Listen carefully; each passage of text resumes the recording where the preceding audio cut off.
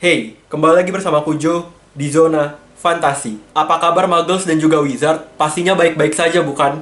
Ya, seperti judul dan cover video ini, hari ini kita akan membahas kehidupan Voldemort, mulai dari kelahirannya sampai pada kematiannya. Sebelumnya, aku berterima kasih sama kalian yang sudah klik video ini. Di subscribe juga ya, supaya kita bisa sama-sama ngebahas semua hal tentang Harry Potter. Dan sebelum menonton video ini lebih lanjut, aku saranin untuk nonton video sejarah Horcrux Voldemort terlebih dahulu supaya kita bisa sama-sama lebih paham dan siap menonton video ini. Mau tahu kan bagaimana perjalanan kehidupan Voldemort? Mulai dari kelahirannya sampai pada kematiannya, tetap nonton video ini ya. Jangan lupa subscribe loh. Kalau kamu nggak subscribe, sudah dipastikan kamu itu adalah muggles. Gak mau kan jadi muggles? Makanya, di subscribe. Oke, jadi segera persiapkan dirimu untuk menyaksikan video ini.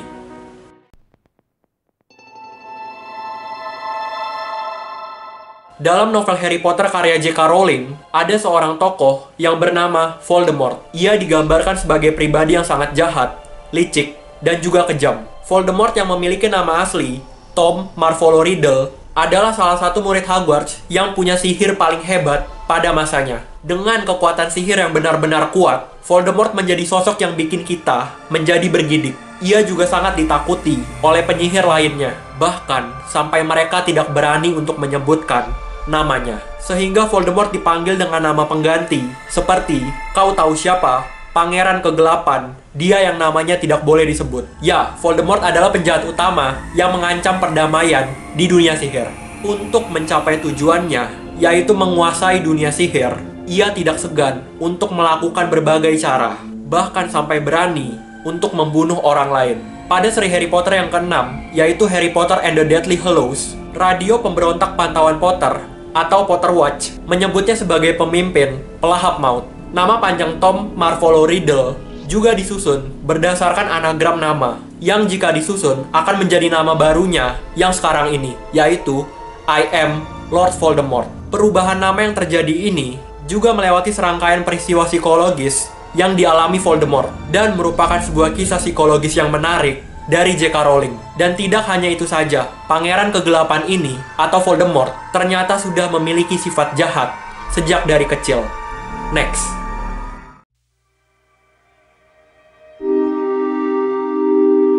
Masa lalu Voldemort diungkapkan secara spesifik pada seri Harry Potter and the Half-Blood Prince. Voldemort adalah seorang anak keturunan Half-Blood yang berarti dilahirkan dari pasangan Muggles dan juga penyihir. Muggles adalah istilah dalam dunia sihir, yaitu manusia yang tanpa kekuatan atau tanpa sihir. Ia mendapatkan darah Muggle dari ayahnya yang tampan, yaitu Tom Riddle senior, dan darah murni penyihir dari ibunya, yaitu Merop Gaun, yang merupakan penyihir berdarah murni dari keluarga Gaun keturunan terakhir dari salah satu pendiri Hogwarts, yaitu Salazar Slytherin. Semua keturunan keluarga Gaun adalah pure blood atau darah murni. Merop tinggal bersama ayahnya yang bernama Marvolo Gaun dan kakaknya yang bernama Morfin Gaun. Marvolo Gaun sering melakukan kekerasan kepada Merop Gaun. Ia sering menghina, bahkan memukul Merop. Hanya dengan melihat Tom Riddle senior melalui jendela, hal itu sudah membuatnya senang akhirnya Merop menaruh hati pada Tom Riddle senior. Hubungan yang dibangun Tom Riddle senior dan Merop Gaun adalah hubungan yang palsu. Merop menggunakan ramuan cinta yaitu Amortentia untuk memikat Tom Riddle senior. Hal ini membuat Tom Riddle senior menjadi mabuk cinta dan tergila-gila pada Merop. Kemudian mereka kawin lari ke London. Merop pun akhirnya mengandung Tom Riddle Junior yang nantinya akan menjadi Voldemort setelah tiga bulan mereka menikah.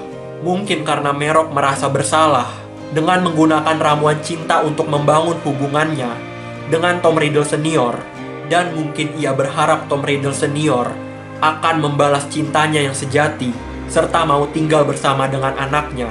Mero pun memutuskan untuk berhenti menggunakan ramuan cinta pada Tom Riddle senior. Namun, dugaannya keliru. Tom Riddle senior segera meninggalkannya. Tak pernah mau tahu apa yang terjadi pada Merop dan anaknya, dan tak pernah sekalipun untuk menjenguknya. Merasa sedih, putus asa, dan sakit hati, Merop pun memutuskan untuk tidak lagi menggunakan sihir, sehingga Merop menjadi sakit-sakitan.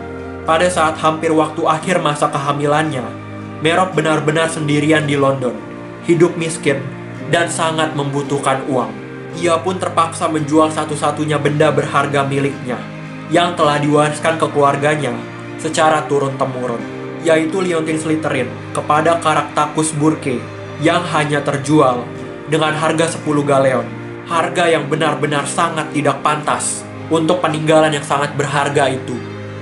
Dan ketika Voldemort lahir pada 31 Desember 1926, ia dititipkan di panti asuhan Mugglewall Orphanage dan Merop memilih untuk meninggal seorang diri tanpa adanya kasih sayang dari keluarga ataupun kekasihnya. Padahal ia bisa bertahan hidup dengan menggunakan sihir, tetapi Merop memilih untuk mati layaknya seorang manusia biasa. Dia memberikan nama kepada anaknya sebelum kematiannya dengan nama Tom Marvolo Riddle. Tom diambil dari nama ayahnya Merop, Marvolo diambil dari nama keluarganya, dan nama Riddle diambil dari nama kekasihnya dikandung dalam pengaruh ramuan cinta, membuat Tom tidak dapat merasakan atau mengekspresikan rasa cinta atau rasa sayang. Tom Riddle dilahirkan tanpa cinta yang murni. Next.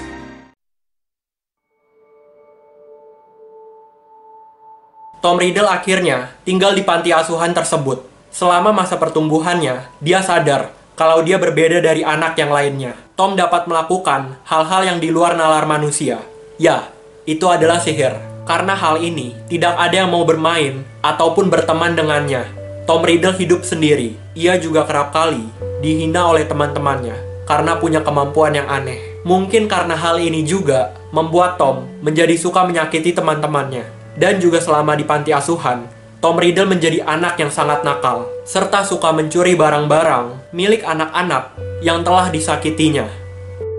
Dia pernah memancing dua teman yatim piatunya yaitu Ami Benson dan Dennis Bishop, untuk menjelajahi gua di karang laut. Hal ini membuat mereka menjadi takut dan sangat trauma. Dan sejak saat itu, hidup Ami Benson dan Dennis Bishop berubah 180 derajat. Tidak pernah lagi menjadi pribadi yang sama sejak saat itu. Tidak diketahui secara detail apa yang sudah dilakukan Tom Riddle kepada mereka. J.K. Rowling juga hanya memberikan sepotong informasi Aksi Tom di dalam gua tersebut membuat trauma yang sangat mendalam kepada dua anak yatim piatu ini. Saking traumanya, mereka nggak sanggup cerita ke orang lain tentang perbuatan Tom. Tom juga suka menyiksa binatang tidak berdaya dengan menggunakan sihirnya sejak masih berusia dini. Ketika sedang bosan, Tom pernah mencekik kelinci peliharaan anak panti asuhan dengan kekuatan sihirnya. Pada saat itu, ia masih belum sadar kalau dirinya adalah seorang penyihir. Tom percaya kalau ibunya adalah pemain sirkus, sehingga ia menganggap kekuatan sihirnya didapatkan dari ibunya, yaitu Merop Gown. Ketika Tom berumur 11 tahun, Albus Dumbledore mendatangi panti asuhan tersebut, membawa kabar untuk Tom bahwa ia diterima di sekolah sihir Hogwarts, dan menjelaskan juga bahwa Tom adalah seorang penyihir. Ia juga menjelaskan bahwa Tom bisa bertemu dengan orang-orang seperti dirinya di Hogwarts. Karena Tom yang sudah mengetahui kemampuan istimewanya sejak kecil, Tom tidak terkejut seperti anak lain pada umumnya. Pada akhirnya Tom Marvolo Riddle pun setuju untuk dibawa dan tinggal di Hogwarts. Next.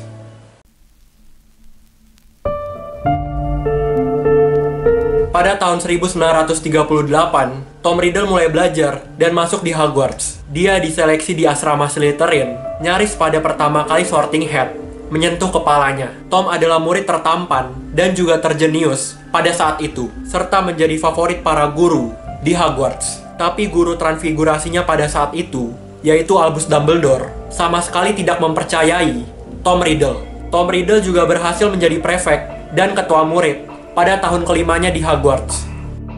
Dan juga karena sangat terobsesi dengan sihir, Tom berusaha mencari tahu asal silsilah dirinya. Dia mencari bukti-bukti apakah ayahnya pernah sekolah di Hogwarts. Namun dia tidak dapat menemukan apa-apa. Dia sangat mempercayai bahwa ayahnya adalah seorang penyihir. Karena ia sudah tahu bahwa ibunya menyerah kepada kematian. Dapat kita ketahui dari hal ini bahwa Tom sangat merendahkan kematian. Akhirnya ia yakin kalau ayahnya adalah seorang magel, karena ia tidak bisa menemukan informasi apa pun tentang ayahnya, dan ibunya lah yang seorang penyihir. Setelah itu, ia pun mendapat informasi yang sangat membantunya dalam mencapai tujuannya. ternyata Tom Marvolo Riddle merupakan keturunan Salazar Slytherin. Dan Tom mewarisi bakatnya, yaitu mampu berbicara parcel maut.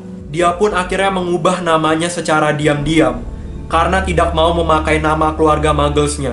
Namanya pun ia ubah menjadi Lord Voldemort. Tom benar-benar mengetahui nasibnya. Ia akan menjadi orang nomor satu di dunia sihir. Pada tahun 1943, Tom menemukan Chamber of Secrets yang hanya bisa dibuka oleh orang yang dapat berbicara, Parcel Maut. Karena Tom Riddle mewarisi bakat tersebut dari Salazar Slytherin, maka Tom membukanya dan membangkitkan Basilis serta memberikannya perintah untuk membunuh semua murid keturunan Muggles yang ada di sekolah sihir Hogwarts. Tom memiliki kepercayaan bahwa hal tersebut merupakan misi yang dipercayakan kepadanya dan harus dilaksanakan demi menjaga kemurnian darah penyihir. Akibatnya, hal ini membuat seorang siswi bernama Myrtle Warren dikenal sebagai hantu Morning Myrtle, hantu cewek yang menghuni salah satu toilet cewek di Hogwarts, menjadi tewas. Lalu Tom menuduh Rubeus Hagrid yang telah membuat siswi tersebut terbunuh. Hal ini menyebabkan Hagrid dikeluarkan dari sekolah, dan Tom mendapatkan medali penghargaan atas jasanya yang telah menyelamatkan sekolah dari monster yang berasal dari kamar rahasia, yaitu Basilis. Dan pada tahun yang sama, Tom juga berhasil mendapatkan informasi mengenai ibunya, Merop Gown. Tom yang lahir tanpa kasih sayang sosok ibu, yang meninggal tidak lama setelah melahirkan dirinya, didorong rasa penasaran yang tak terbendung. Akhirnya ia pergi ke Little Hangleton dan bertemu dengan Morphine Gown, pamannya Tom. Morphine Gown akhirnya menceritakan semua hal yang terjadi pada ibunya Merop Gown. Tom pun menjadi sangat marah ketika mendengar hal ini dan membunuh ayah kandungnya sendiri beserta kakek dan neneknya, lalu menuduhkannya kepada Morphine Gown. Tom Riddle juga merupakan anggota dari organisasi Klub Slug yang dibentuk oleh guru ramuannya, yaitu Horace Slughorn. Organisasi ini beranggotakan siswa-siswi yang berprestasi. Hal ini dimanfaatkan oleh Tom Riddle. Dengan segala tipu muslihat, ia berhasil membuat kelompoknya sendiri, yang nantinya akan menjadi cikal bakal terbentuknya Death Eaters ia mengumpulkan pengikut-pengikutnya yang menganggap bahwa Tom adalah pahlawan dan mau berkomitmen untuk setia kepada Tom untuk meneruskan aksi kejahatannya dengan membunuh dan menyakiti sesama. Dan pada tahun terakhirnya di Hogwarts, Tom bertanya kepada Horace Slughorn mengenai Horcrux dan apa tujuan serta efek penciptaan Horcrux. Dengan pesona karismatik yang Tom miliki, dan juga karena ia murid favorit guru ramuannya, Tom akhirnya mendapatkan informasi berharga dari Horace Slughorn. Dari kepala asrama Slytherin ini, Tom Riddle mengetahui cara membelah dan menyembunyikan jiwanya ke dalam sebuah objek. Sihir Horcrux adalah sihir yang sangat terkutuk, terkeji, dan sangat terlarang, serta dikategorikan sebagai sihir yang paling hitam. Siapa pun yang melakukannya, jika ketahuan oleh Kementerian Sihir, maka ia akan langsung dijebloskan ke penjara Azkaban. Next.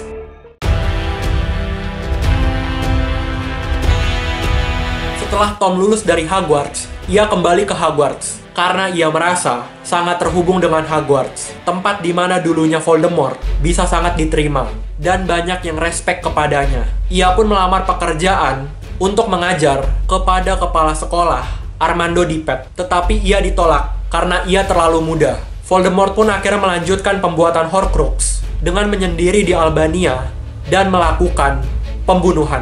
Setelah ia kembali dari Inggris, Kementerian Sihir menawarkannya untuk bekerja di sana. Tetapi Tom menolaknya dan lebih memilih untuk bekerja di Borgin and Burkes. Dia berhasil menciptakan beberapa Horcrux untuk melindungi dirinya dari kematian.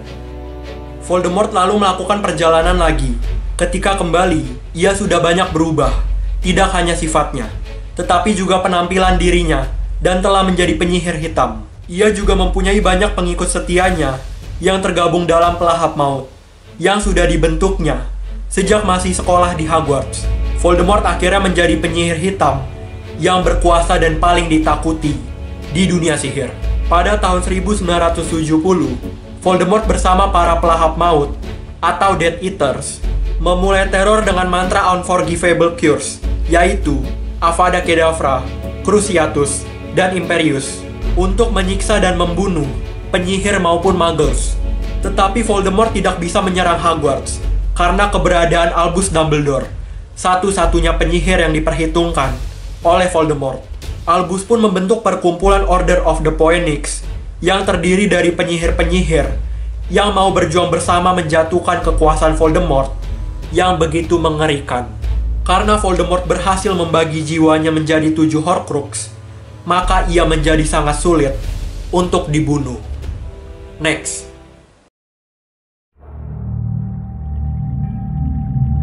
Pada tahun 1979, ada sebuah ramalan yang menyebutkan bahwa akan lahir seorang anak yang dapat mengalahkan Voldemort. Anak itu mempunyai kekuatan yang tidak dimiliki oleh Voldemort. Ramalan itu dikatakan oleh Sybil Trelawney kepada Albus Dumbledore.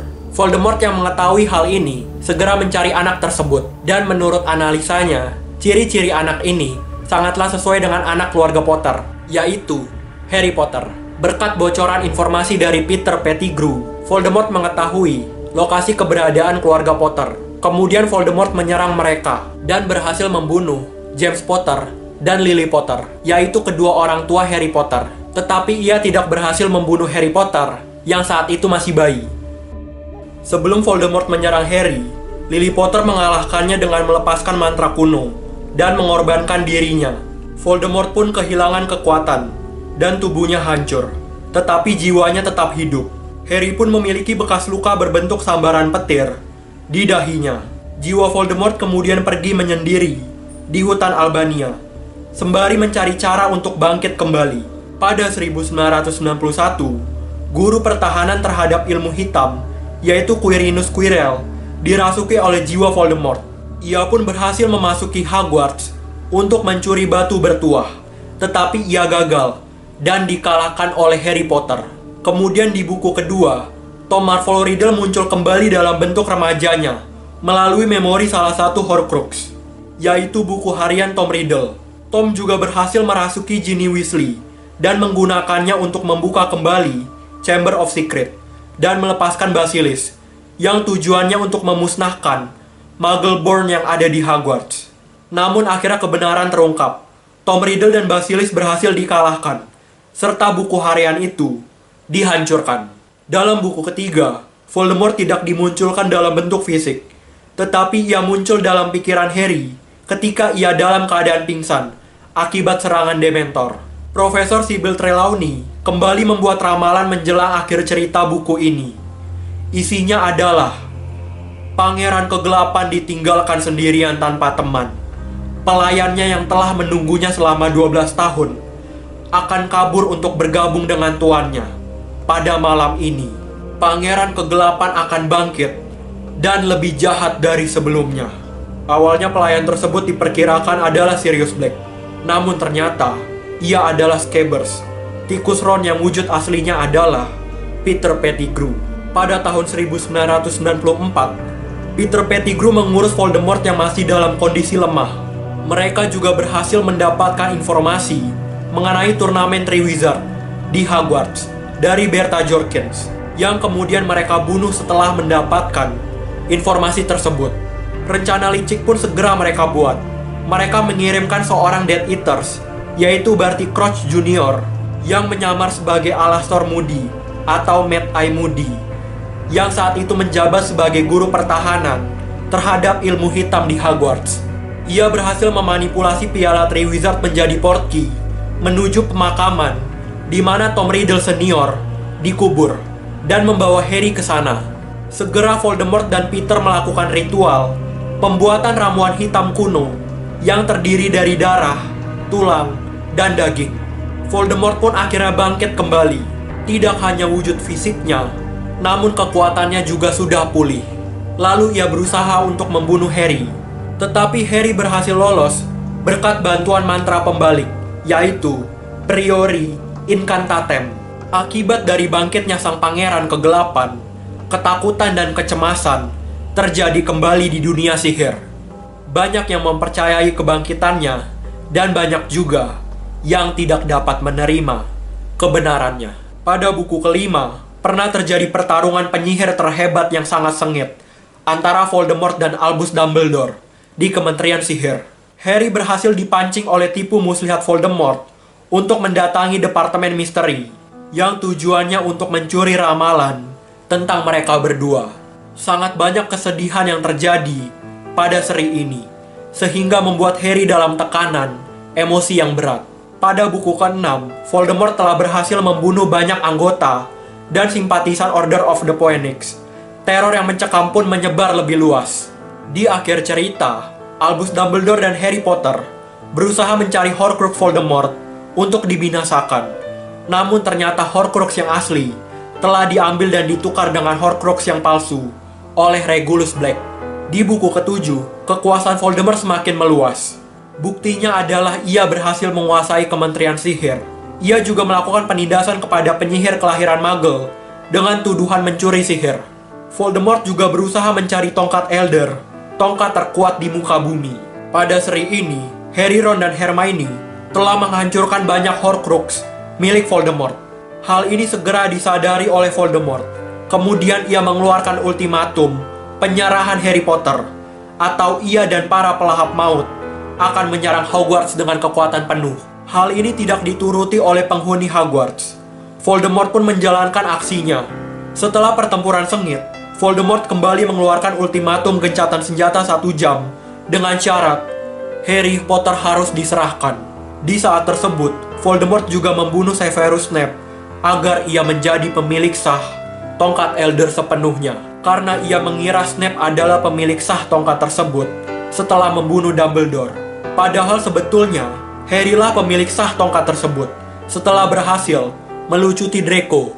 Harry pun akhirnya menyerahkan dirinya kepada Voldemort. Dan Voldemort melancarkan kutukan Avada Kedavra kepada dirinya. Tetapi bukannya membunuh Harry, kutukan itu malah membuat sebagian jiwa Voldemort yang ada pada tubuh Harry lenyap. Harry yang berpura-pura mati pun kembali ke Hogwarts dan menyatakan bahwa dirinya masih hidup. Horcrux terakhir Voldemort, yaitu Nagini, juga berhasil dimusnahkan oleh Neville Longbottom. Ia akhirnya berhasil mengalahkan Voldemort dengan tongkat Draco setelah kutukan kematian memantul kembali pada Voldemort dengan mantra pelucutan senjata Expelliarmus. Voldemort pun akhirnya tewas pada 2 Mei 1998 pada usia 71 tahun di peristiwa Perang Hogwarts. Mayatnya dibaringkan jauh dari para pejuang Hogwarts. Kejahatan telah dikalahkan, kedamaian dan keamanan akhirnya kembali di dunia sihir.